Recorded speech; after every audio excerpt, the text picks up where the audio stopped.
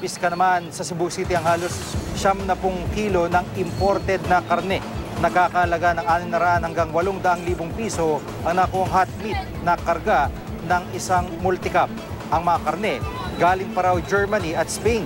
Nakatanggap daw ng impormasyon ng mga tauhan ng Department of Veterinary Medicine and Fisheries na may pinupuslit na mga imported na karne sa mga palengke sa lungsod.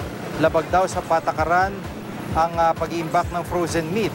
Ang pagsakay nito sa multicab, sa chiller van daw dapat ito'y sinakay para hindi mabulok. Naalam pa kung sino ang nasa likod ng insidente.